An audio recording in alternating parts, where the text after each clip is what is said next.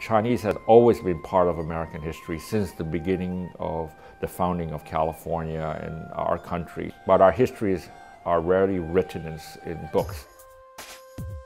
I remember um, my dad told me that my grandfather died. I didn't really get a chance to say goodbye. So I want to learn more about who that man was. Genealogy is one thing, but stories are the one that make history. Even though I am half Chinese and I live with my Chinese mother and grandma, there hasn't been much discussion about our culture. Are you ever uh, ashamed of being Chinese? Sometimes. I don't know how you would have felt about me being biracial, especially black. I know he's here watching over me right now as I'm doing this. And that's pretty powerful because I haven't felt him ever since he passed away. I feel more free and I feel like I'm getting a new perspective on life.